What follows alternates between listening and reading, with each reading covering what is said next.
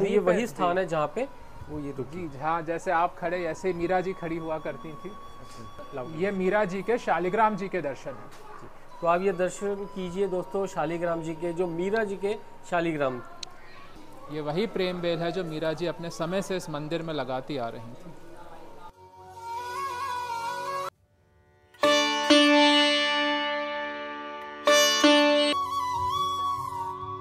राधे राधे दोस्तों मैं हूँ आपका दोस्त संजय खुराना एक बार फिर आपके साथ और आपको फिर से ले आया हूँ मैं ब्रिज की गलियों में। दोस्तों आज जो मैं आपको ब्रिज की गलियों में दिखाऊँगा वो अपने आप में अद्भुत स्थान बोला जाता है क्योंकि ये एक ऐसी परम और अ, अच्छी आत्मा का स्थान माना जाता है जो जिसने अपना नाम भगवान श्री कृष्ण के साथ अमर कर लिया। दोस्तों, मैं आया हूँ इस समय आपको दिखाने मीराबाई का टेंपल जो कि बना हुआ है वृंदावन की गलियों में। और दोस्तों, ये मीराबाई कुटी जो है, वो केशी घाट वृंदावन में लगभग एक किलोमीटर की दूरी पर है। तो आप मेरे पीछे देख लीजिए, ये ही गलियाँ हैं जहाँ से हम मीराबाई कुटी की तरफ़ बढ़ते हैं। मीराबाई किशन की भक्ति में ऐसी डूबी दोस्तों कि उन्होंने अपना सारा पूर्ण जीवन जो है, उनकी भक्ति और उनकी गाथा और उनके प्रेम में व्यतीत कर दिया। मीराबाई का जन्म जो है दोस्तों, वो उन्नीस सौ अठानवे ईस्वी में कुलड़ी गाँव में दूधा जी के चौथे पुत्र जो रतन सिंह थे, उनके घर में हुआ था। और बचपन से ही दोस्तों, वो किशन भक्ति में रुचि लेने लगी थी। बाद में उनका विवाह जो है, वो एक राज परिवार में हुआ, जो चित्तौड़ के राजा थे। और वो जो थे, वो महाराणा सांगा के पुत्र थे। और दोस्तों, उनके जो पति थे, उनका एक चार साल बाद ही एक युद्ध करते हुए उनका देहांत हो गया और उनके देहांत के बाद उस समय प्रथा चलती थी, सती होने की प्रथा चलती थी। तो उन्होंने अपने आप को जो है सती करने से बिल्कुल मना कर दिया क्योंकि वो उनको भगवान श्री कृष्ण जी को अपना पति मान चुकी थी। तो उस टाइम पे इस चीज़ का काफ़ी विरोध हुआ और उनका जो पति थे, उसका छोटे भाई देवर जो थे, उन्होंने इस चीज़ को बहुत अपोज किया और मीरा को काफ़ी जो है प्रताड़ित किया गया कि वो इस प्रथा को निभाएँ बट वो इस चीज़ के लिए बिल्कुल मना कर दिया इन्होंने और वो अपनी कृष्ण भक्ति में ही आगे बढ़ती रही। और वो अपना अधिकतर जो समय है वो साधी संतुओं के संगत में, हरि कीर्तन में ही अपना व्यतीत करने लगी। दिन पे दिन उनकी ये भक्ति जो है दोस्तों, काफ़ी बढ़ती चली गई भगवान श्री कृष्ण जी के प्रति। और उन्होंने बहुत सारी कविताओं की रचना करी, बहुत सारे उन्होंने काव्य लिखे भगवान श्री कृष्ण जी की गाथा गाते हुए। तो आज दोस्तों उसी महानुभूति के मैं आपको दर्शन करवाने लेके जा रहा हूँ मीराबाई जी के। और इन गलियों की एक सबसे अच्छी एक, ये लगता है दोस्तों इस गलियों में जगह जगह कीर्तन हो रहे हैं जगह जगह भागवत कथाएँ हो रही हैं। तो इनका आप आनंद लेते हुए आगे मेरे साथ बढ़िए।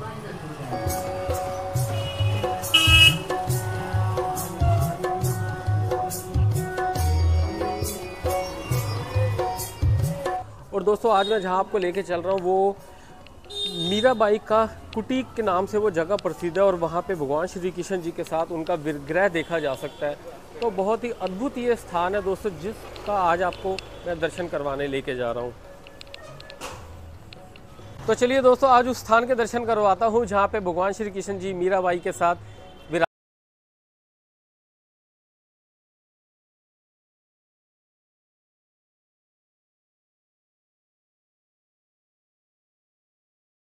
है जहाँ भगवान श्री कृष्ण जी ने अपना बचपन व्यतीत किया। और उसके बाद जो है, जब मीराबाई का जन्म हुआ दोस्तों तो उन्होंने इन्हीं गलियों में अपना बहुत सारा समय व्यतीत किया। कहा जाता है कि उन्होंने वृंदावन में पंद्रह साल अपने व्यतीत किए भगवान श्री कृष्ण जी के भजन करते हुए और उनके कविताएँ उनके बारे में लिखते हुए। तो मीरा कुटीर की तरफ़ ये चलते हुए ये जो गलियाँ हैं, बहुत आनंद आ रहा है इन गलियों में चलते हुए। बहुत पतली पतली गलियाँ हैं। इन्हीं गलियों में जो है कभी भगवान श्री कृष्ण जी के भी चरण पड़े होंगे। आप भक्तजनों को देख सकते हैं, ये मीरा कुटीर से आते हुए भगत जन हैं जो उनके दर्शन, उस स्थान के दर्शन करके वापसी की तरफ़ आ रहे हैं।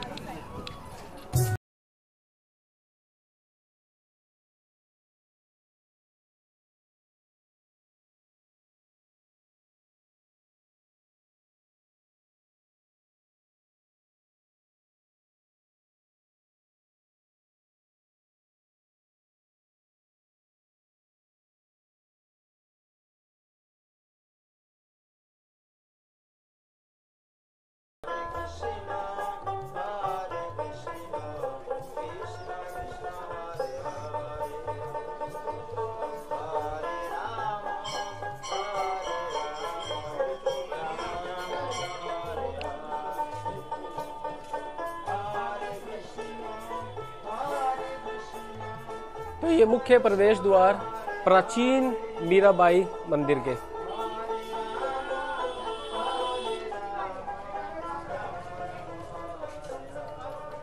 और दोस्तों, इस पवित्र स्थान के अंदर प्रवेश करने से पहले मैं आपको मीराबाई के बारे में, माता मीराबाई के बारे में कुछ उनके जीवन से जुड़ी हुई बातें बताता हूँ। दोस्तों, वो बचपन से ही भगवान श्री कृष्ण जी के लिए ही उनका ऐसा लगता है जन्म हुआ था। कहा जाता है कि एक बार जब गली में बारात निकल रही थी तो अपनी मदर अपनी माता के साथ जो है बारात देख रही थी।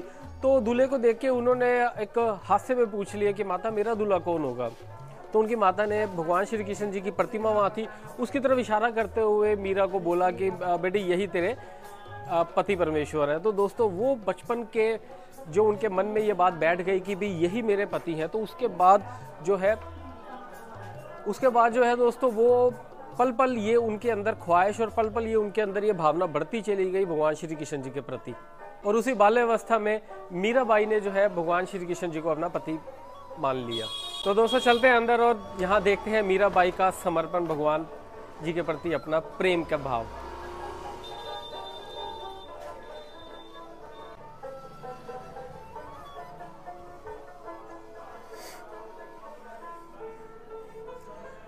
और दोस्तों मीराबाई जो है एक अद्भुत,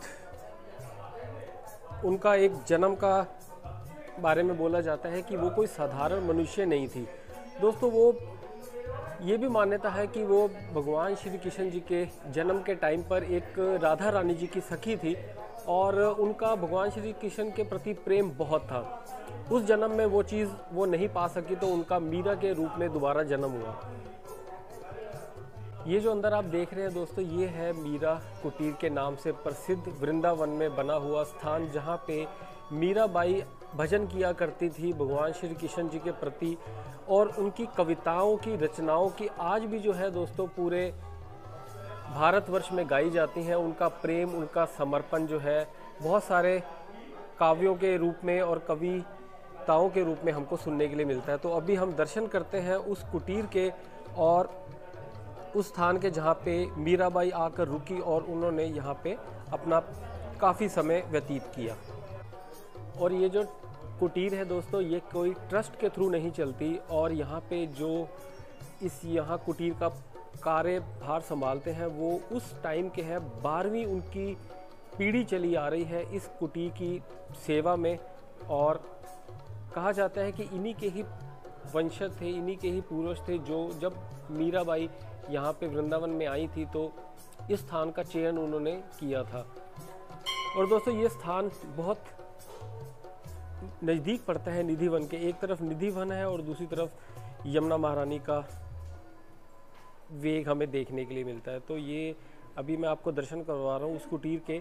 और अभी अंदर हम बात करते हैं, आपको मैं अंदर उस विग्रह के भी दर्शन करवाऊँगा, जहाँ पे भगवान श्री कृष्ण मीराबाई के साथ विराजमान है। और दोस्तों, ये जो मीराबाई का स्थान बना हुआ है, ये जो कुटी बनी हुई है, कहा जाता है कि ये लगभग लगभग 500 साल पुराना है। एक बार आप नीचे का ये स्ट्रक्चर देखिए, ये स्ट्रक्चर को बने हुए 500 साल हो गया है और ऊपर का जो स्ट्रक्चर है, ये लगभग 260 साल पहले बना हुआ स्ट्रक्चर है। और इसी स्थान पर माता मीरा जो है, भजन किया करती थी। इसी स्थान पर उन्होंने अपना वृंदावन में पंद्रह साल व्यतीत किए। पे ये डिस्क्रिप्शन दिया गया है इस मंदिर के कि यह मंदिर भक्त शिरोमणि श्री मीराबाई के निवास स्थल पर ठाकुर राम नारायण सिंह राज दीवान जो बीकानेर से थे, इन संबंध, इन संदर्भ में उन्होंने 1898 में बनवाया था।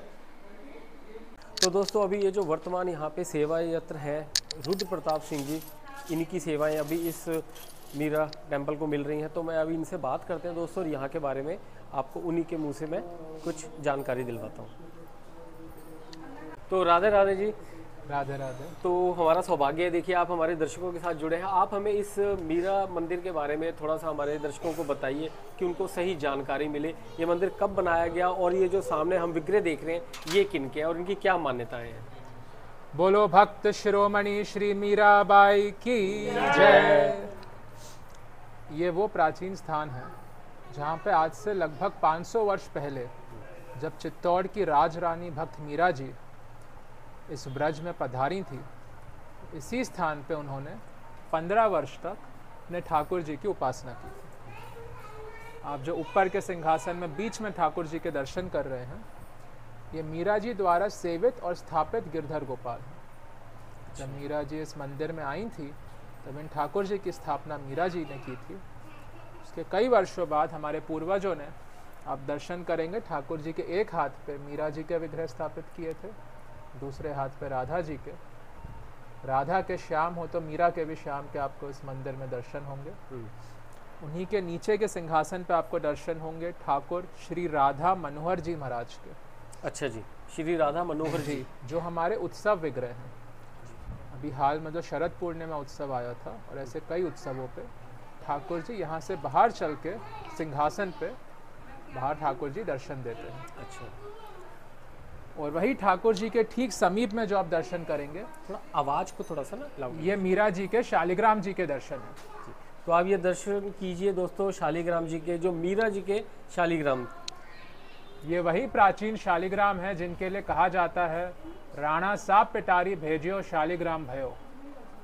मीरा जी के जो सौतेले देवर थे राणा विक्रमादित्य उन्होंने मीरा जी को मारने के लिए कई प्रयत्न किए थे। फाइनली उन्होंने हार के एक सपेरे को बुलाया। उससे एक बहुत जहरीला सर्प लिया। अच्छा। और मीरा जी को एक फूलों की पिटारी में छिपा के भेजा गया। और उन्हें ये कह के भेजा गया कि इस पिटारी में आपको शालिग्राम जी के दर्शन होंगे। तो जब मीरा जी ने वो पिटारी खोली उनकी तो भाव यही थे कि उन्हें शालिग्राम जी के दर्शन होंगे। तो जाकी रही भावना जैसी प्रभु मुहूर्त देखी तिन तैसी तो जैसे आप दर्शन करेंगे मीरा जी को सर्प के नहीं शालिग्राम जी के ही दर्शन हुए। और इतने दिव्य दर्शन थे जब मीरा जी ने किए थे उनके प्रेम अश्रु शालिग्राम जी पे गिरे थे। और उससे जो प्रकट हुए आप देखेंगे मस्तक पे तिलक के दर्शन है दो नेत्र है नासिका है अधरों पे एक मुस्कान है और उसके नीचे एक हल्की सी बांसुरी के भी दर्शन है। हम्म। जब मीरा जी ब्रज में आई थी तो अपने शालिग्राम जी को साथ ही लाई थी और जब यहाँ से आगे द्वारका जा रही थी तो यहीं पे उन्हें स्थापित करके द्वारका चली गई। अच्छा कितने साल रही थी मीरा जी यहाँ यहाँ पे? लगभग पंद्रह वर्ष रही थी। पंद्रह वर्ष उन्होंने यहीं पर ही भजन कीर्तन किया। तो ये वही स्थान है जहाँ पे वो ये रुकी जहाँ जैसे आप खड़े ऐसे मीरा जी खड़ी हुआ करती थी। और आप यहाँ दर्शन करेंगे। ये मेरे पिताजी के दर्शन हैं। हाँ जी। जो अभी कुछ समय पहले ही उन्हें गोलोकवास हुआ है। इससे पहले जो भक्त आते थे उन्हीं के दर्शन करते थे। इन्होंने मीरा जी के मंदिर के लिए और उनके ठाकुर जी के लिए पूरा जीवन समर्पित कर दिया था। अद्भुत। धन्यवाद जी धन्यवाद आपका। राधे राधे। अभी आप तो चलिए एक इस कुटीर के इस मीराबाई टेंपल के एक परिक्रमा कर लें। मैं आपको परिक्रमा करवाता हूँ यहाँ की। और दोस्तों एक कबीरदास जी और एक मीरा ही ऐसी थी जो पूरे शरीर समेत जो है वो अंतर ध्यान हो गई थी। इतिहास में ये दो महानुभाव ही ऐसे हुए हैं जो शरीर समेत अंतर ध्यान हो गए थे। तो ये आपने पूरी परिक्रमा पूरी कर ली है।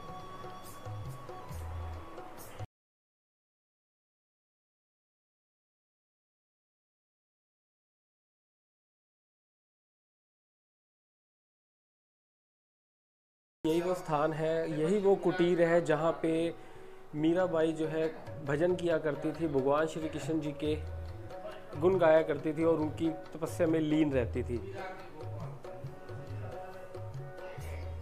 और दोस्तों यहीं पर ही प्रांगण में ये एक अद्भुत दृश्य मैं देख रहा हूँ। एक बॉल जो है फुहारे में से जो है निकल रही है। इसके बारे में बताएँ इसका क्या मान्यता है और ये क्या है?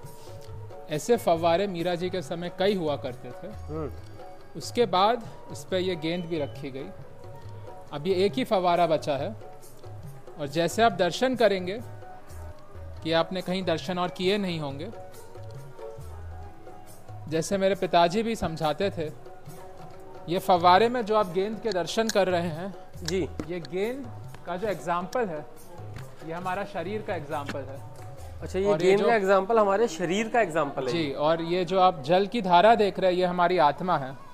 आप देखेंगे शरीर को गेंद वहीं पर नाचती रहेगी और कभी कभी ऊपर जाएगी गिर जाएगी फिर नीचे आएगी फिर वहीं पर अपने स्थान पर आ जाएगी।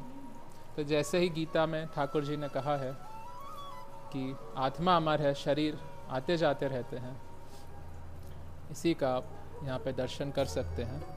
और आप देखेंगे जो इस गेंद से जो जल लग के जा रहा है पास की सारी बेलों में तो इससे इन बेलों का भी पालन पोषण हो रहा है। अगर ये गेंद इस पे नहीं रहेगी तो आप देखेंगे जल की धारा सीमित हो जाएगी। जब तक वो गेंद नहीं आए तब तक सारे बेलों में छिड़काव भी नहीं होगा। तो ये जो आप दर्शन कर रहे हैं अद्भुत दर्शन है और इसका जो मैं देख रहा हूँ जल की बूंदे जो है ऐसे मोर पंखी सा वो बना रही हैं। जी। तो आप जैसे सामने से भी दर्शन करेंगे ठाकुर जी के सामने हमेशा ये दिव्य दर्शन होते रहते हैं।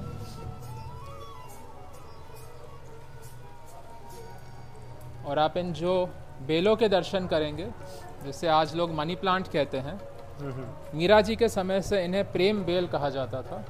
अच्छा। और आज इसका बिल्कुल ही ऑपोजिट नाम हो गया है मनी प्लांट मीरा जी ने अपने समय यहाँ कई ऐसी बेलें लगाई थी। हम्म। उन्होंने अपने पदों में भी लिखा था असवन जल सींच सींच प्रेम बेल बोई मेरो तो गिरधर गोपाल दूसरो ना कोई। ये वही प्रेम बेल है जो मीरा जी अपने समय से इस मंदिर में लगाती आ रही थी। जय मीरा मैया की तो दोस्तों, मेरी तरह अगर आप भी इस प्रेम भाव के दर्शन करना चाहते हैं तो आप जब भी वृंदावन आए तो इस स्थान पर आना ना भूलिएगा। अति उत्तम, अति पवित्र और अति प्रेम युक्त इस जगह के, इस मंदिर के कन कन में प्रेम की अनुभूति आपको होने वाली है। तो दोस्तों, आपको जल्दी ही मिलूँगा अपने नई डेस्टिनेशन पर राधे राधे।